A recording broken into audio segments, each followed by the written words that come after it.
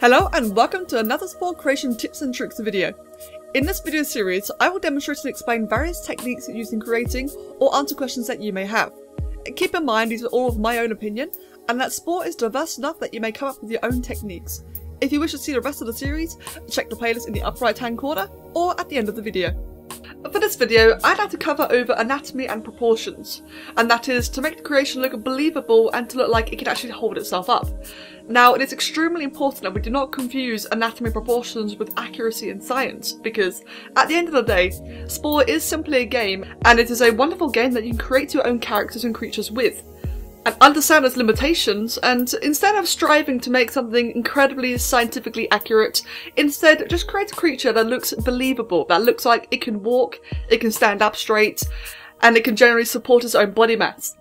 This is an extremely key thing that I try to keep in mind in pretty much all of my creations and in my opinion it's probably the most important yet easily the most forgotten thing when it comes to making creatures. In my opinion, a creature that has a body mass that looks like it can stand and walk looks far more impressive than a scrawny or obese creature that has a plethora of details but looks like it would collapse under its own weight. Now when it comes to trying to remember this, I have one simple question for you. Does your creature look like it can survive the effects of gravity? Now of course, I'm not referring to any like exotic uh, gravity, like any uh, very heavy or very light. No, I simply mean, does your creature look like it can stand up? Does it look like it can support its head? Does it look like any part of it is going to crush itself? That is what I am referring to when I ask the question, uh, does it look like it can survive gravity? Take my Jowie for example. This is a far more recent and more um, modern interpretation of my own Jowie. This time I've tried to, you know, have a little bit more focused on proportions as opposed to the general details. Like, as you guys can see, generally the Jowie creature is very simple. It is simply a raptor, a very stylized raptor, but a raptor regardless, with a couple of sails, some horns, and that is pretty much it. It is a very simple creature, and yet it is a very beloved creature. This creature looks believable. Despite it having, compared to a scientifically accurate creature, it has very glaring flaws. And yet, this creature looks like it could walk, it could hunt, you know, it could behave, it could survive. The reason for that is, quite simply, the first thing that you want to consider is balance. Does it look like it's going to fall forward or fall backwards, etc, etc? I will admit the Jowie does actually look like it can fall forwards, but I will describe that more in a moment. Now, when it comes to balance, I want you guys to imagine a line going down this creature, a vertical line that demonstrates the centre of its gravity, where all the weight is proportioned the goal is that with this line, you want that line to be as close to the feet as possible. That way, if the centre of gravity is focused on the feet, on the legs, on the hips, it actually looks like the creature can keep itself stable. If, however, you have that centre of gravity, that line, a little bit too far to the back or a little bit too far to the forwards, despite it having, you know, large strong legs, it may look like the creature's just going to fall over, fall forward, fall back, and as, as I was going to say, I will admit this Jowie does have a bit of that issue. It does look like it will fall slightly forward. I've tried to combat this by having a larger than usual tail, a bit of weight in the tail, and to have the feet be extremely large. If you were to compare this to, say, a regular raptor, a scientifically accurate dromaeosaur, you'll find that the feet are a lot smaller, and of course all the weight is in the hips. But after all, Spore is not about being accurate, it's about having your own enjoyable creations to play with and this is my personal, this is my favourite example. Another thing to factor in is not just balance, but also musculature, muscle mass. Now, I'm not saying you guys should go ahead and discover the entire musculature of your creation, but mainly give it a bit of bulk. Give it some bulk, don't make it scrawny, don't make it skinny, make it look like this creature can actually eat something and digest that food. Make it look like its skeleton actually holds organs, it actually holds fat, holds muscle. A prime example I can give to that point there is this creature here, the Horned Raptor. This is one of my, well this was in fact my first ever creation, and as you guys can see, it may look interesting, but it looks really bad, doesn't it? And I guarantee the reason it looks bad is because it is horribly skinny, very scrawny, very weak and pathetic looking, and let's face it, this thing could not stand up at all, it would just get it wouldn't get crushed per se, this thing looks like it would just get blown away by a gentle breeze. And while we're not after accuracy, that lack of realism, in my opinion, really affects the general design. On a first, in a first impression glance, it just looks pathetic. However, when we compare that skinny and scrawny horned raptor to a more modern approach, as you guys can see here, the details themselves are pretty much the exact same, in fact it's got more spikes than it did before. Uh, the wings are probably a little bit smaller in fact compared to beforehand. The face is a little bit different, but the biggest key thing is, the thing that makes this creature look a lot more whole, is the fact that it has muscle mass. It has thickness, it has a body. I'm not saying make your creations thick or anything like that, but what I am trying to say is once again just make it look like it can stand up. Now, just like with the Jowie, this does actually have the issue of looking like it can fall forwards on itself. So what I would do to fix that, personally, is I'd make the tail significantly larger and perhaps make the tail a little bit longer as well, although of course with it being vanilla spore, it's kind of a bit tricky to do. But more than anything else, right now, when I look at this creature with its thickened tail, perhaps we can make the neck point up just a little bit more, just a tad. When I look at this, I kind of see the line of balance to be probably around here. I would say maybe there at a push because the thicker tail really dramatically brings back that mass, that balance. So with that in mind, with the line being around here, I will simply move the feet a bit more forward. Probably make the ankle or the shin a little bit thicker. And there we go. All of a sudden, this creature now looks like it could happily walk around without having much balancing issues. Now, of course, you can be a little bit more stylistic with this, a bit more creative. For example, let's say the creature did look like it was lurching forward a bit. Well, you could say that the wings kind of help keep it balanced. Or any other detail that you may have. After all, this is your own creation. It doesn't have to be amazingly accurate or follow the general laws of physics, but in my opinion, it should, at the very least, obey gravity and obey mass. Now here, I'd like to give an example made by another creator. This is the Grand Dragon made by the creator Mouthwash, and this, in my opinion, perfectly follows the general rules of proportions. But on top of that, as you guys can see, this creature, while looking very nice and very polished and very almost realistic in terms of proportions, it is very, very simple. Notice the complete lack of details. The only details that exist on this creature are around the face, which his head is a little bit bulky, is the spines going down his neck, and a little bit around the tail. Otherwise, that's about it, and you know what? I think this is a fantastic creature despite the complete lack of details. Because in my opinion, proportions just add so much more. I've always felt like a proportionally simple creature just typically on a first per on a first impression glance looks a lot better than a massively detailed yet self-crushing creation. Now the reason that Mouthwash has managed to succeed in this kind of appearance is for two reasons. Now first of all, as you guys can see here, the general body mass is very thick, very large. You can tell it's got a large strong rib cage. It's got a very strong pelvis. This thing is, you can tell it's a large creature. Its neck is upright, but its neck is still thick enough and head small enough where it feels like it could hold its own neck up without, you know, crushing its neck or anything like that. The tail is nice and long. It doesn't have to be up and stiff. Instead, this tail looks fairly relaxed, which again makes sense considering the majority of the mass is all centered around the four legs, and the neck upright isn't lurching forward, so it does not need a counterbalance of the tail behind it. And the second thing being the arms and the legs. Now, the arms and the legs, you can you can definitely argue that they are they do look a little bit thin, a little bit small. I personally think it works for two reasons. The feet are quite large and quite spread out. Sure, it probably wouldn't be able to tiptoe like that, but hey, it's spore. I mean, you guys still take these things with a pinch of salt. And I personally find that these claws, this type of foot, works very, very well for the more thinner arms and wrists.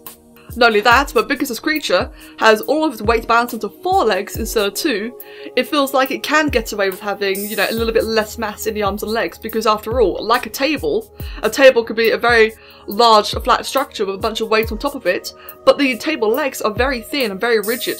That's all it needs, is to be strong enough where it won't collapse under its own weight, and I feel like this creature demonstrates that perfectly.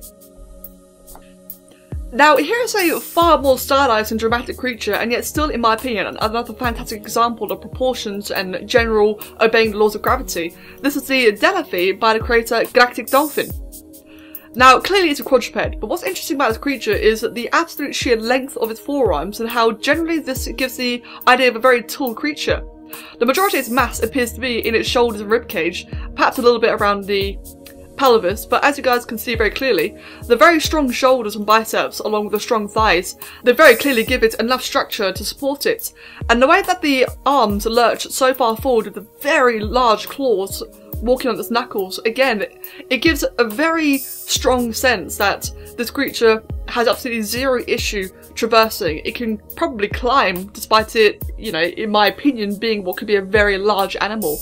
I could see this being a tremendously large creature, yet having absolute grace walking around. The neck, of course, looks like it would be, you know, structurally quite weak, but that's where, you know, like a bit of uh, a bit of imagination, a bit of creativity comes in. However, saying that, despite the neck looking like it'd be a little bit weak, it is actually very thick and the head is small enough where it doesn't seem that far-fetched. Plus, additionally, to the whole, you know, line of um, the line of gravity we were referring to earlier, the line of balance, you could argue that the creature looked like it'd be lurching forward, except Galactus has already approached that and already solved that issue by having the, the uh, hands being so far forward. I would imagine this creature, if it was to ever trip up and fall over, I would imagine it being able to balance itself almost immediately. Now what's very interesting about the Delaphey is that Galactus has actually created another version of this. So we have the quadruped version we just looked at, and we have the bipedal version here, which has pretty much the exact same traits as the quadruped, but the general stance and skeleton have been adjusted so that it can happily walk on its back two feet. Overall, it does look to be about the same, but some key differences such as the shoulders and the torso have been brought back significantly, so now we can see that the general centre of gravity would be pretty much spot on through the middle, maybe just about where the belly kind of starts to poke out, that'd be the line of gravity. However, she's already managed to tackle this perfectly, with the legs being adjusted ever so slightly. Now they are both perfectly beneath the rest of the torso, very happily holding the rest of that weight. The arms are just as big as they were before, but now they are significantly bent back and, even taking into account how tall this creature is and how long the arms are, they're bent so that they do not constantly get, you know, like clipping through the floor or anything like that. Additionally, the neck has remained about the same, the heads remain about the same, so it does still have that uh, very large crooked neck appearance, but because there's so much weight going on in the back of this creature, in the legs, in the shoulders, in the chest, etc., it, despite the head lurching ever so slightly forward, it still looks like it would happily wander around on its back two legs. Now this here is a far more creative and interesting creation by the creator Werderfan 2012 called the Crop'loz. And I've chosen this creature because it is far more unique in its stance, and yet it still perfectly obeys the general laws of gravity. Now as we can see here, it's very clear that the majority of this creature's weight is going to be uh, somewhat in its torso, but mainly in this position here, this portion of the neck, and also by far in the tail. Now this one is a fantastic balance between creativity and imagination, a very stylistic creation, which still looks like it can at least stand up and walk. Now if we take this neck for example, typically that would look like it would just simply crush, crush itself and fall backwards. But fortunately we are not playing with science here, we are playing with pretty much the illusion and the impression that this creature can function and walk around. The general position of the arms and legs, in my opinion, are pretty much spot on. You would want the shoulders to be fairly far forward, and you would want the hips to be at around the midsection between the torso and the tail, especially for how thick the tail is. This creation is a perfect example that, you know, your semi-realistic creations don't always have to be incredibly realistic. They can be wacky and wild, they can be very detailed, very unusual, and yet they can still work perfectly fine. Now this here is another far more stylistic and far more creative example, the Taur-i V6 by Slain Dracon. And this one, I have to say, it's far more interesting. Now, clearly, you know, creatures nowadays, they don't have six limbs, they don't have wings coming out from their hips, any of that kind of stuff. So scientifically, it's out the window, but once again, we're not playing with science, we're playing with the impression and the idea that it could function. And in my opinion, this actually works quite nicely. Just like what I'd expect to see in this kind of creation, I would want, I would expect a lot of the mass and weight to be around its hips because that is where both its thighs, its hips, its a tail, and uh, evidently the wings are all situated, and yet this creature fulfills that criteria perfectly. With all that weight being situated around this area here, the legs you would assume would be directly underneath, and you know what, they are. Now the legs are quite scrawny, they are quite thin, but I feel like that is nicely balanced by the large thighs up here, and of course the large feet down here. It feels like this. I had the impression this is a rather delicate creation, or a rather delicate creature.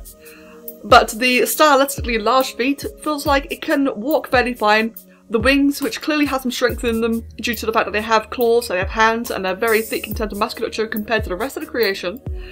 I have the impression that this creature was to ever, you know, have a bit of a stumble, be a little bit off balance, it could easily, instantly balance itself by using its wings. In fact, even more so, I have the impression that as this creature walks around, it probably would wave its wings around in a far more, you know, like realistic fashion. Obviously, Spore has its limits, so it doesn't really capture what I'm imagining here. When it comes to the rest of this creature, so all the weight will be situated in the thighs. Now, as has, you know, clearly been done, the creators thought very hard about this. I would assume that the rest of the weight would be fairly upright. Maybe, I wouldn't say far forward. I'd say it's probably a little bit further forward than I would really expect, but I could just be, you know, my own bias. I still feel like this has worked perfectly well. The neck is upright, which is exactly what I want to see. This head is very small. Overall, this is like another one of those very stylistic, very creative creations, which are just not accurate in any sense compared to like any earthen creature, and yet it just feels like it would work. It feels like this creature would wander around perfectly fine. And it truly is these things that really, in my opinion, make a Spore creation far more unique and pop out far more. This is also another fantastic example of how the creature itself is fairly low detailed. The majority of the details is either in the wings, or simply a bit of plumage which is still around the wings, or its mane. Otherwise, detail-wise, it has pretty much nothing, just the bare basics, just the bare basic form. And the form is so much more important than the detailing. Get the form right first, and you can detail until your heart is content. Or until the complexity, complexity meter says no. And so with all that guys, I would like to give a demonstration of all of this put together into one of my older creations, the Ignis Dracos. This is a creation I used to be very proud of when I was younger, but looking at it now I can see all sorts of horrendous flaws. The biggest one being that, one, the general centre balance is fairly off, but mainly two, the scrawny mass of the of the um, hips, the tail, and mainly those hips that get, get crushed by anything in an instant. So to fix this creature, first of all I will activate freedom, that way I have the ability to do what I want with it. And of course, add DNA. Now, look at this creature. The absolute first thing I want to fix is the hips. Those hips are truly horrendous. They'd get crushed in an instant. Let's give it some mats. And in response to that, since I have the impression this creature would be like a fairly, fairly large animal, I'd like to increase the size of the torso and the chest as well. With its body now looking quite a bit larger, the tail now looks incredibly pathetic by compare. If anything, I would actually like to get rid of the tail entirely, shrink it all the way back, move the entire creation forward and give it a limb tail. Now I use these limb tails for two reasons. One, they're cheaper in terms of complexity, and they are easier to manipulate, but mainly two, the spine can only extend so far in Spore, whereas the tail will give you far, far more potential. If you're interested in any of the keyboard shortcuts that I use, how to do things such as breaking the limbs apart or duplicating parts, you guys can see all of that in my first episode of this tips and tricks series, The Basics. Standard's tail looks significantly more functional, not massively accurate or anything of the sort, but it at least looks functional. I'll go ahead and leave it like that for now. But now as we can see, the torso, the hips and the legs and the tail looking generally more structurally sound, all of a sudden the legs look really pathetic by compare. I'm going to simply increase the size of those legs, mainly the thighs and a little bit of the ankles and the shins, and I'm going to also make the feet significantly smaller. Bring the entire thing backwards so it's a little bit more centered. Positioning wise, it is pretty fine for a basic demonstration. Now the creature looks like it can stand up. It does however still look like it could fall forwards. There are three ways I can combat this. I can either one, change the position of the tail, make it a little bit more stiff and rigid and just generally a little bit longer, perhaps a little bit thicker. By doing that, I can now move the legs even further back. I can too make the feet a little bit larger, or probably more likely a little bit longer like I had the Jowie, and generally move it a little bit more forward. When I look at this creature from the front side, the feet do feel very awkward in their positioning, so by holding tab I'm going to rotate them slightly outwards, just like that, so now it looks like it has a little bit better control, a little bit better positioning. By doing that, I can actually move the ankles a little bit further inwards, and now it looks quite a bit, you know, more comfortably positioned. The third way I can also adjust all this is by manipulating the wings to make them feel a little bit more flaring outwards, although it's kind of hard to do with this current uh, wing setup. So looking at the creation now, overall the general body seems about okay. The arms, I think, would go just a little bit back and probably just a little bit shorter, hands a little bit smaller, and otherwise I think they're actually quite okay as they are now. The neck and the head, now this is a major flaw that I really dislike when it comes to creations, and that is the head looking slapped on. Mainly, this little bump here, and I'll go into this in greater detail in a, in a future video. But as a quick little fix for this, I'm going to go ahead and make the uppermost vertebrae significantly larger, position the head a little bit more forward and rotate it in.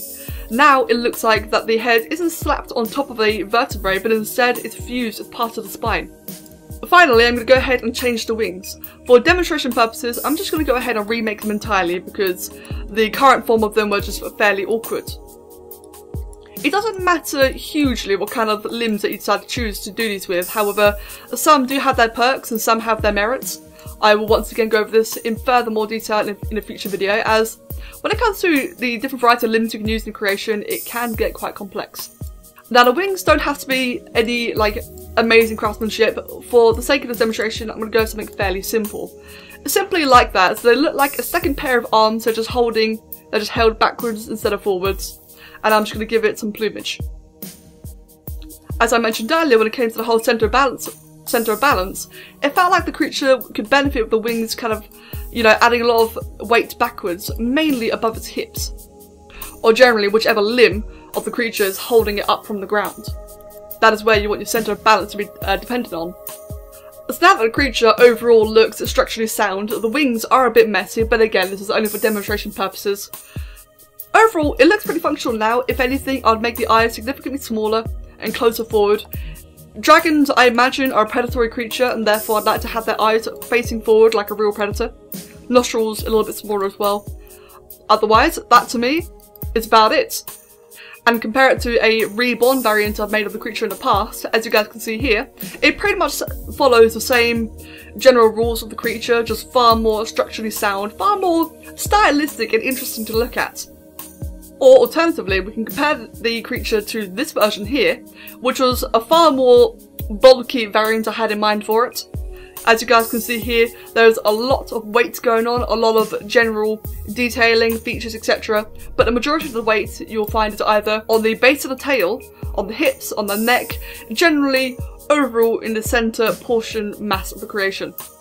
To wrap up the video, first of all, I apologise if this was a very ranty video, but proportions there's a lot to cover, there's a lot of examples I can give, and it is, in my opinion, the most important part about making creatures in Spore, as well as, of course, having fun.